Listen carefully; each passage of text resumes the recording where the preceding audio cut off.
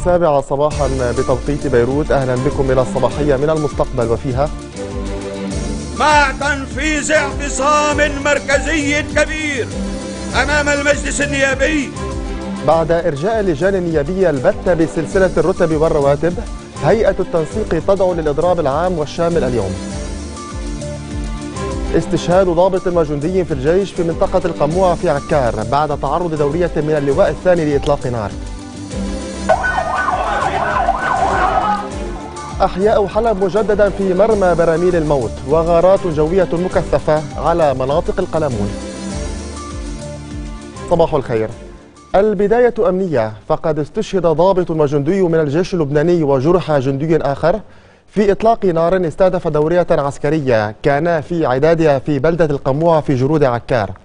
وفي التفاصيل أن مسلحين يستقلون سيارة من نوع هوندا حمراء اللون أطلقوا النيران أثناء مرور دورية للجيش في جرود القموعة مما أدى لوقوع عدد من الإصابات بين أفرادها وجميعهم من عناصر اللواء الثاني في الجيش اللبناني.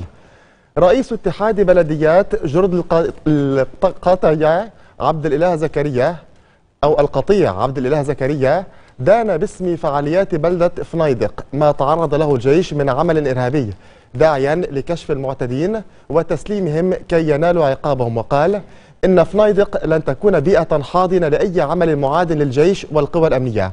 هذا وأفادت الوكالة الوطنية للإعلام بأن قوة كبيرة من الجيش باشرت مداهماتها في منطقتي فنايدق والقموعة كما تمت مداهمة منزل المتهم الرئيسي بإطلاق النار على دورية الجيش بالإضافة إلى شخص آخر كان برفقته.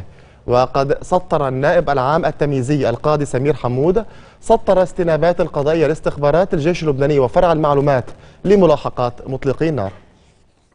مطلبيا يشل الإضراب العام الذي دعت إليه هيئة التنسيق النقابية اليوم معظم القطاعات وذلك احتجاجا على عدم إقرار سلسلة الرتب والرواتب وسط دعوات لتحرك متطوعي الدفاع المدني واعتصام لنقابة عمال ومستخدمي مؤسسة كهرباء لبنان وآخر المستأجرين أمام مجلس النواب. قيادة الهيئة كانت قد أعلنت عن خطواتها التصعيدية في مؤتمر صحفي عقدته بالأمس. ردا على عدم إقرار سلسلة الرتب والرواتب دعت هيئة التنسيق النقابية الشعب اللبناني إلى المشاركة الكبرى في تنفيذ الإضراب العام والشامل الأربعاء في كافة القطاعات والتظاهر أمام المجلس النيابي بالتزامن مع انعقاد الجلسة العامة. هيئة التنسيق النقابية أشارت في مؤتمرها الصحافي إلى أن تحركها يأتي ردا على الاستهتار الذي وجهته اللجان النيابية المشتركة لعدم إقرار سلسلة الرتب والرواتب. يوم غد الأربعاء الواقع في التاسع من نيسان 2014 مع تنفيذ اعتصام مركزي كبير أمام المجلس النيابي أثناء انعقاد الجلسة وعند الساعة الحادية عشرة من قبل ظهر يوم الإضراب غدا. حيكون يوم الزحف حول مجلس النواب. لنجبرن ليقروا السلسلة يوم الخميس وأنا هون بدي أطرح شغلي على الرئيس بري.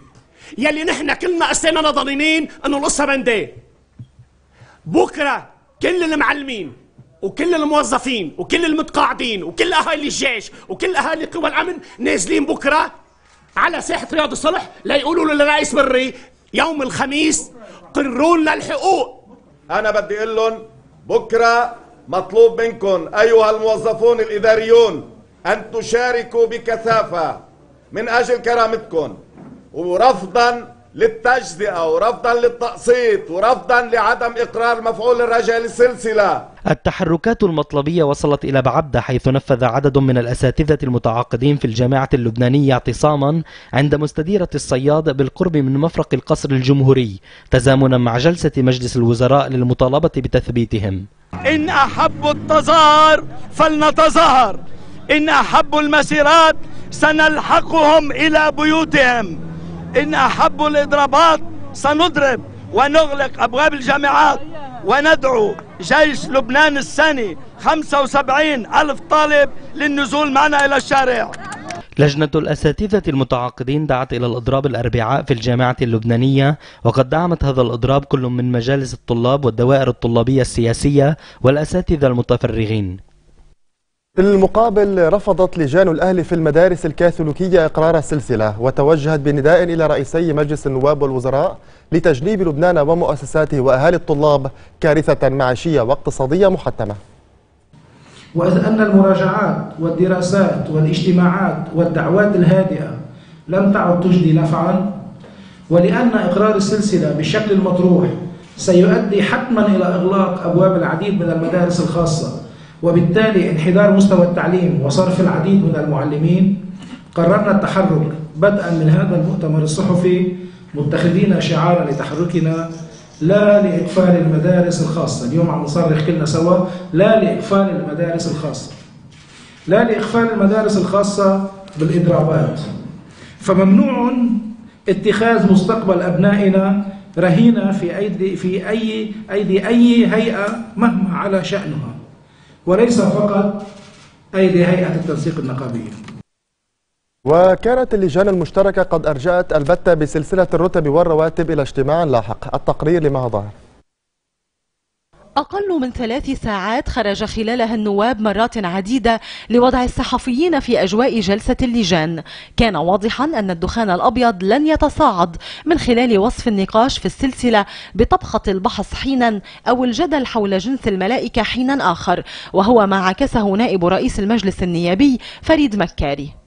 أكدت اللجنة في جلساتها على أحقية المطالب بإقرار سلسلة الرتب والرواتب وبعد أن أقرت العديد من المواد المتعلقة بالإيرادات وتوقفت عن بعضها ونتيجة الاختلاف في وجهات النظر من قبل العديد من السادة النواب. هذه الجلسات مستمرة حتى الوصول إلى نتيجة بإذن الله.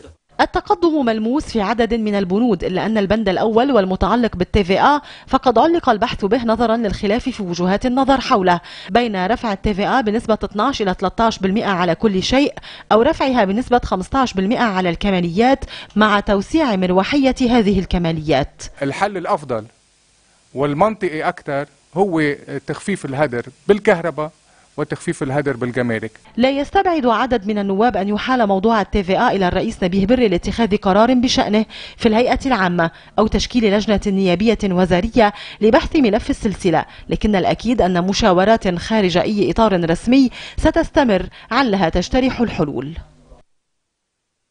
أعرب الرئيس الحزب التقدمي الاشتراكي النائب وليد جملاط عن استغرابه لعدم مقاربة النقاشات حول سلسلة الرتب والرواتب مكامن الهدر الأساسية وفي طليعتها الجمارك وتحديدا في المرفأ والمطار. وقال جملاط في موقفه الأسبوعي إنه يتبين من مقارنة سريعة بين أرقام عامي 2009 و2014 التفاوت الرهيب والمريب المحقق في الواردات على الرغم من تضاعف الحركة والاستيراد عبر المرفأ والمطار. من تداعيات إقرار قانون الإيجارات في الجلسة التشريعية الماضية اعتصامات للمستأجرين والمالكين على حد سواء. شارع الحمراء كان على موعد مع حشد من المستأجرين القدامى احتجاجا على إقرار قانون الإيجارات المعتصمون رفعوا لافتات طالبت بالعودة عن هذا القانون الذي يعتبرونه مجحفا. بداية حقيقية للثورة ثورة اجتماعية. لأنه هذا الشيء اللي راح يصير راح يهجر كل الناس. نحن بكرة الصبح نازلين على المجلس النيابي. ما راح تكون هاي النزلة لا الأولى ولا الأخيرة. كل المناطق بدنا تتحرك. في المقابل اعتصم عدد من المالكين القدامى في ساحة رياض الصلح رافعين اللافتات الداعية إلى عدم التراجع عن القانون على وقع التهديد. إجوا اشتغلوا 22 سنة. و45 اجتماع للجنة الإدارة والعدل ممثلين كل التيارات السياسية بمجلس النواب. أعطونا هالقانون وصوتوا عليه بالأكثرية الصحة. بس نايبين ما صوتوا عليه. نايبين بس. طب هودي النواب ماشي؟ هم بيفهموا 22 سنة عم يدرسوا مع أخصائيين. أعطانا الحد الأدنى. المالكون القدامى دعوا رئيس الجمهورية ميشيل سليمان إلى الإسراع بتوقيع قانون الإيجارات. أكد رئيس الجمهورية ميشيل سليمان أن الجيش يحظى بالدعم وينفذ القرار السياسي للدولة وغير منحاز إلى جهات سياسية أو طائفية وكذلك الأمر بالنسبة لباقي القوى الأمنية. وبشأن موضوع سلسلة الرتب والرواتب أبدى سليمان خلال جلسة مجلس الوزراء التي انعقدت في القصر الجمهوري أبدى أمله في إحقاق التوازن بين الإنفاق والتقديمات والإيرادات. لفت فخامته إلى أن التعيينات التي أقرها مجلس الوزراء تركت ارتياحا كبيرا وأعطت املا لدى المؤسسات ولدى الناس أيضا خصوصا أنها تمت وفق الآلية وجاءت ردود فعل إيجابية كثيرة من الموظفين والمواطنين.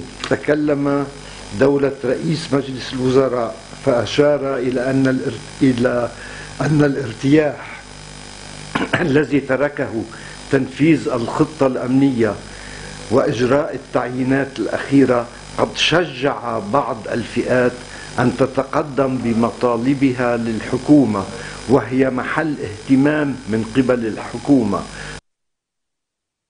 رأى رئيس مجلس النواب نبيه بري أن هناك فرصة ثمينة أمام اللبنانيين لانتخاب رئيسهم وفق مواصفات الصناعة الوطنية إلا إذا كانوا يريدون هذه المرة أيضا استجرار الوساطات والتدخلات من الخارج كما اعتادوا عموما.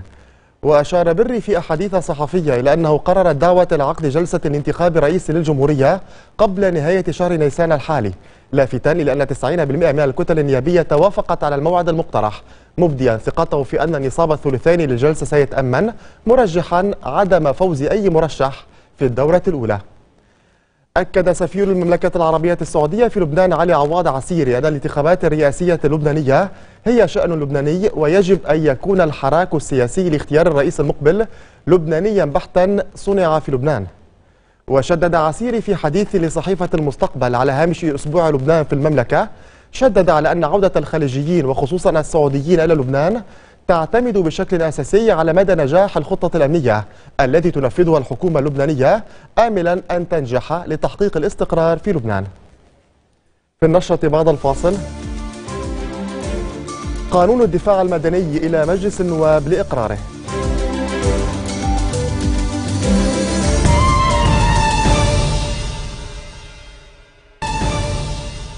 أهلا بكم من جديد. بعد أيام على انطلاق الخطة الأمنية في عاصمة الشمال احتج بالأمس عدد من الشبان على عمليات الدهم التي يقوم بها الجيش اللبناني وعمدوا إلى قطع اوتوستراد البداوي وطريق الدباغة وصولا إلى سوق القمح لبعض الوقت.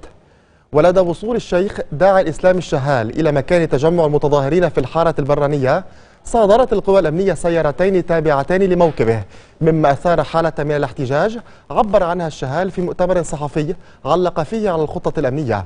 بعد ذلك عاد الوضع إلى طبيعته في المدينة وتشهد مختلف الشوارع حركة سير عادية. عاد الهدوء إلى مخيم الميومية بعد اشتباكات أخيرة وسط تأكيد الفصائل الفلسطينية على استقرار المخيمات وأمنها. بحذر شديد عاد الهدوء إلى مخيم المية بعد الأحداث الأمنية التي سقط خلالها تسعة قتلى وأكثر من عشرة جرحى فيما أقفلت مدارس المخيم ومعظم مؤسساته التجارية. وبهدف نزع فتيل التوتر والعمل على جلاء ملابسات ما جرى تكثفت الاجتماعات على صعيد مختلف القوى والفصائل الفلسطينية. عاد الهدوء إلى المخيم ولم بفضل طبعا جهود قيادة حركة فتح والقوى الوطنية والإسلامية في داخل المخيم والفصائل منظمة التحرير والوضع هادئ ومستقر والحياة طبيعية في داخل المخيم. وهذا ما كل شيء في داخل مخيم الميومية. أثناء مرور سيارة الأخ الحاج جمال سليمان الأمين العام لحركة أنصار الله تعرض لكمين مسلح ومحاولة اغتيال من قبل عصابات مأجورة مما أدى إلى استشهاد أحد مرافقيه وإصابة آخر. وفي السفارة الفلسطينية عقدت الفصائل الفلسطينية اجتماعا طارئا استنكرت فيه الاشتباك المسلح في المية وأكدت الحرص على استقرار وأمن المخيمات. ندين ونستنكر الأحداث المؤسفة التي حصلت أمس في مخيم المية ومية والتي أضرت بأمن المخيم واستقراره. نؤكد حرصنا على المحافظة على الأمن والاستقرار في المخيمات الفلسطينية وجوارها وعدم السماح لأي جهة بالعبث بأمن المخيمات وخصوصا ما جرى أخيرا في مخيم المية ومية بدوره بحث مجلس الأمن الفرعي في الجنوب مستجدات الوضع الأمني في مخيم الميومية حيث تابع الاتصالات واللقاءات الجارية لمعالجة تداعياته وأكد المجتمعون ضرورة استكمال الخطة الأمنية التي بدأ تنفيذها على صعيد مدينة صيدا والجوار. أبدى رئيس حزب القوات اللبنانية سمير جعجع تخوفه من إقدام أحد الراغبين بالوصول إلى الكرسي الرئاسي إلى عدم تأمين النصاب خلال الجلسات إلا في حال ضمن وصوله إليها. إذا ما وصلت إلى سدة الرئاسة سأكون بالطبع رئيسا لكل اللبنانيين ولكن بنظرة الرابع عشر من أذار. الموقف لرئيس حزب القوات اللبنانية سمير جعجع أمام وفد من نقابة المحررين برئاسة النقيب الياس عون جعجع استبعد إمكانية اتفاق زعماء الموارنة على رئيس موحد على خلفية أن كل مرشح ينتمي إما إلى مشروع 8 أذار أم إلى مشروع 14 أذار. وانطلاقا من هنا لم يكن بالإمكان اختيار مرشح موحد. فالانتخابات تعني انتخابات وليس توافق وهذه هي الديمقراطية. فليترشح من يرغب والذي يفوز نهنئه جميعا. جعجع أكد أن الاتصالات متواصلة بين مكونات الرابع عشر من أذار التي من حقها إجراء حساباتها ففي النهاية علينا التوافق على مرشح واحد في مواجهة المرشح الذي سيختاره فريق الثامن من أذار. وردا على السؤال قال جعجع أنا حاليا مرشح حزب القوات اللبنانية وأطمح في الأيام المقبلة أن أكون مرشح كوى الرابع عشر من أذار وأطمح في الأسابيع المقبلة أن أكون مرشح كل اللبنانيين واستبعد رئيس حزب القوات التمديد للرئيس ميشيل سيمان ولا سيما أن غالبية الكتل النيابية حزمت أمرها في هذا الاتجاه عدا عن أن التمديد يحتاج لثلثي المجلس وهو أمر في غاية الصعوبة. في وزارة الداخلية اجتماع حول أوضاع الدفاع المدني خلص إلى الإعلان عن إحالة القانون إلى مجلس النواب تمهيدا لإقراره خلال الجلسة التشريعية. من وزارة الداخلية والبلديات بشر النائب هادي حبيش بإقرار القانون المقدم من مديرية الدفاع المدني في جلسة مجلس النواب غدا مع بعض التعديلات البسيطة. كلام حبيش جاء بعد اجتماع عقده وزير الداخلية والبلديات نهاد المشنوق مع مدير عام الدفاع المدني العميد ريمون خطار خصص للبحث في درس التعديلات على اقتراح قانون تنظيم الدفاع المدني. تم الاتفاق على آه، السير بالقانون آه، تقريبا كما هو وارد آه، من لجنة الدفاع الوطني والبلديات مع إجراء بعض التعديلات الطفيفة بنبشر الدفاع المدني متطوعين وأجراء ومتعاقدين وموظفين بأنه هذا القانون سيقر. غدا. وبالتزامن كان متطوعو الدفاع المدني في عكار قد أقاموا اعتصاما في منطقة القبيات في إطار التحركات التي تشهدها كافة المناطق اللبنانية من أجل إقرار قانون تثبيتهم. بدي أطلب طلب من السياسيين يلي ملاقيين أنه إحنا يعني يلي معارضين المشروع بس بدي منهم شغلة.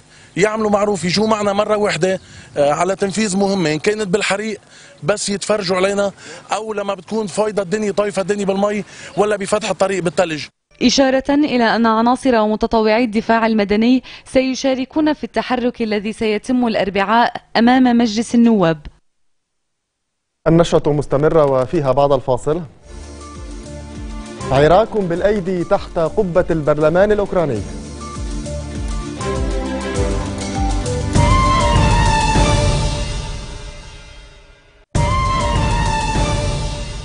أهلا بكم من جديد. شنت كتائب الأسد قصفا عشوائيا بالبراميل المتفجرة طال أحياء في رفاعي دمشق وحلب وفي درعا. وذلك بالتزامن مع غارات جوية مكثفة على مناطق في القلمون. جاء ذلك فيما أعلن ناشطون سوريون أن فصائل المعارضة تتقدم على جبهة ريف حماة وتقصف معاقل تابعة للنظام السوري.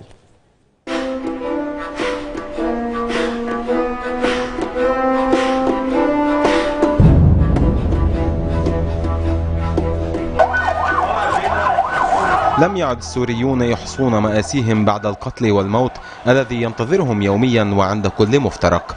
فقد سقط العشرات بين قتيل وجريح بعد أن شن الطيران الحربي سلسلة غارات على الأحياء السكنية في حلب فيما أكد ناشطون أن الثوار بدأوا بالتضييق على أكاديمية الأسد العسكرية وهي أكبر معاقل قوات النظام في المدينة وسط تجدد المعارك في حي الراشدين حيث استهدف الجيش الحر مطار النيرب العسكري. في المقابل دكت مدفعية النظام دفاعات تابعة للجيش الحر في رنكوس التي تعرضت كذلك لغارات جوية طالت أيضا مرصد صيدنايا في القلمون. حي جوبر في العاصمة دمشق تعرض بدوره لقصف عنيف بالتزامن مع تعرض مناطق في ريف دمشق لغارات شنتها الطائرات والمروحيات الحربية. القصف المدفعي طال أيضا الزبداني بريف العاصمة حيث اندلعت معارك بين القوات الحكومية وفصائل المعارضة. أما محافظة درعا فشهدت بدورها قصفا بالبراميل المتفجرة فيما دارت مواجهات عنيفة عند معسكر الخزانات وبقية حواجز قوات النظام في محيط مدينة خان شيخون في ريف إدلب الجنوبي.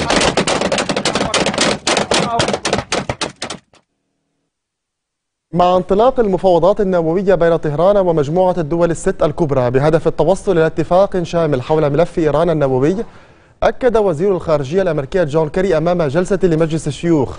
أن الفترة التي تحتاجها إيران لتطوير القدرة على صناعة أسلحة نووية هو شهران وأضاف نعمل استنادا إلى فكرة هذه الفترة الزمنية المعروفة للعامة. يشارك الرئيس الفلسطيني محمود عباس اليوم في الاجتماع الطارئ لوزراء الخارجية العرب والمخصص لبحث التطورات الأخيرة لعمليات السلام المتعثرة. بالتزامن بحث الرئيس الأمريكي باراك أوباما مستقبل عمليات السلام مع وزير خارجية جون كيري.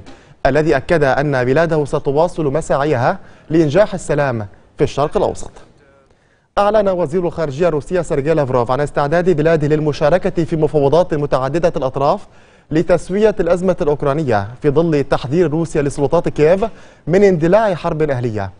وعلى خلفية الأزمة المتصاعدة شهد البرلمان الأوكراني عراكا بالأيدي بين نواب شيوعيين وآخرين قوميين متشددين تبادل خلاله نحو 15 نائبا اللكمات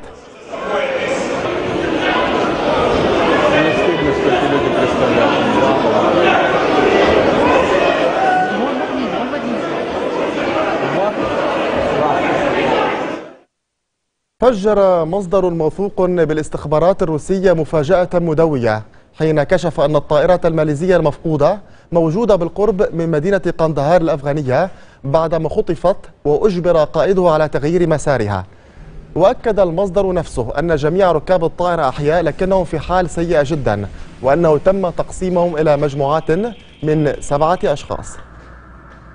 نبقى مع أخبار الطيران. فقد اضطرت طائرة تابعة لإحدى الشركات الجوية البريطانية في مطار هيثرو إلى الهبوط بعد أن تسببت 390 بقرة كانت على متنها بارتفاع كبير ومفاجئ في درجة الحرارة مما أدى إلى تشغيل دائرة الإنذار من الحرائق.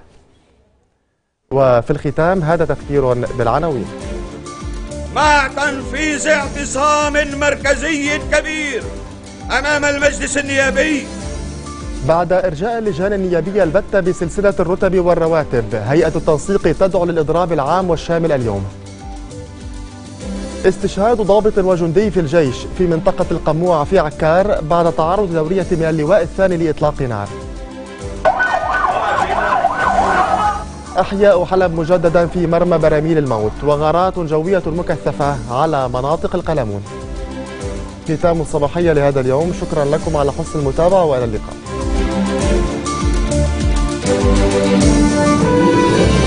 جيش لا توضع أمامه خطوط حمر